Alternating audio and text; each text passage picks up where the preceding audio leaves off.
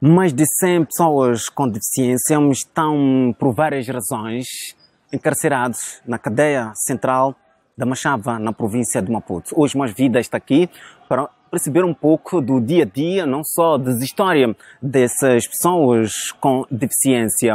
Neste momento vamos falar com Delci Romeno, que ele é da nacionalidade é de Paraguai, neste caso, é, América Latina. Ele chegou aqui já tem várias doenças, não só eh, ele já adquiriu a deficiência. Naturalmente, vamos conversar com as outras pessoas com deficiência para perceber melhor as razões, eh, o dia a dia, como tem, sim, tem sendo feito aqui dentro da cadeia. O que aconteceu? Qual é o crime que cometeu para estar aqui? Foi tráfico. Se não havia convênio com Moçambique, com, com Paraguai, ¿verdad? um convênio para que eu pudiera ser trasladado a mi país porque mis familiares están todos acá. Fui condenado 8 años y ahora a mitad llega el 19 de junio. Probablemente estoy tratando de a ver si hay posibilidad para salir libertad condicional. Fernando Luiz, um, digamos, uh, quanto tempo, como que chega a cadeia central? Chegarei por causa de, da minha namorada. Em 2017, em novembro, dia 27. Estou aqui, estou condenado 12 anos e 2 meses de multa. Se já cumpri 14 meses, eu fico, tenho direito de dar metade da pena. Aconteceu os mogovos, tive violação também. Violação? Violação, violação. Era, era essa, tua, essa era tua namorada? Namorada, sim. Mas por que, que ele meteu a queixa? Quem meteu a queixa é o pai dele, o meu ofendido, que é pai dele. Sim, que não gostou da situação que aconteceu. Era menor? Era menor? Sim, 16 anos. 16 anos. Sim, sim. É, o que aconteceu, explica um pouco essa trajetória de, da bala. O que aconteceu foi a nível da penitenciária ou quando estava fora? Isso foi antes. Antes eu fiquei, fiquei preso porque eu tive esse acidente em 2012. Foi uma bala perdida. Eu nem sei quem que disparou. Isso foi em 2000 em 2012. Antes eu fiquei preso. Depois adquiri essa deficiência. A deficiência com a qual esse pé aqui não consigo, simplesmente só estico o pé, mas para dobrar ele não aceita. O braço também ele não estica, não fecha. Travou aqui. Aqui, aqui. Fiquei muito tempo em coma, no hospital. Fiquei cinco meses em coma. Esses mesmo da direito não funcionavam quase nada. Depois de começar a fazer a fisioterapia, simplesmente só consegui recuperar um pouco.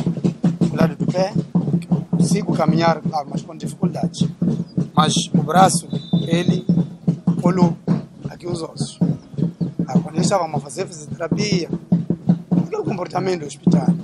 Às vezes, quando você começa a reclamar, dizem que ah, você está a fazer, você está a sentir dores. Me deixavam outros dias. O, bra- o braço secou. Já, dado isso, isso, foram insistindo, o braço, disseram que o braço tem que ser operado.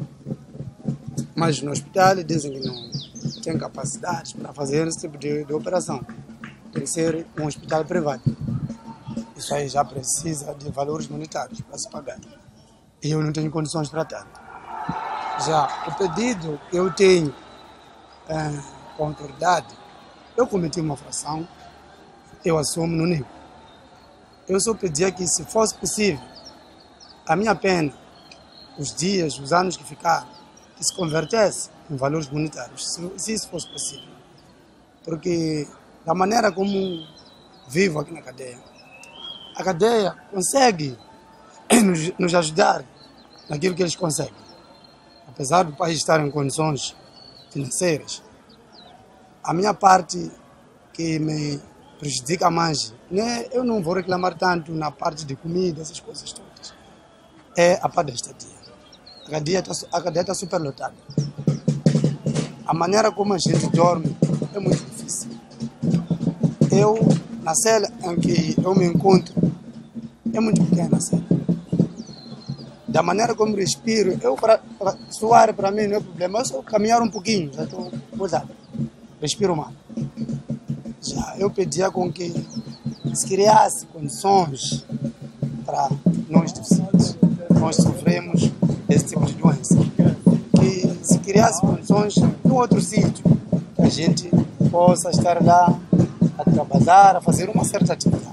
Hum, que tipo de acompanhamento que a associação eh, faz aos reclusos com deficiência? Os crimes são vários. É, uma das coisas que nós não podemos olhar aqui é olhar um indivíduo com deficiência como um indivíduo incapaz de cometer um crime. Ele é, um, é, é uma pessoa como, como qualquer um.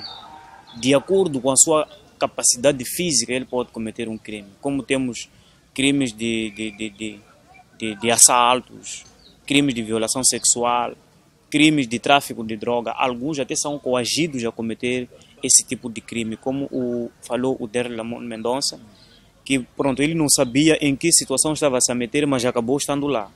Mas nós não olhamos isso, não estamos aqui para julgar o que que fez, o que que ele não fez. Mas é que é possível um indivíduo com deficiência ser acusado de um crime até hediondo. É possível. Sim, então são vários crimes, vários crimes que os deficientes também cometem. Uma das coisas que lhes levam a cometer esse tipo de crime é falta de oportunidade de trabalho há quem adquira deficiência numa ação de perseguição com os agentes da lei e ordem.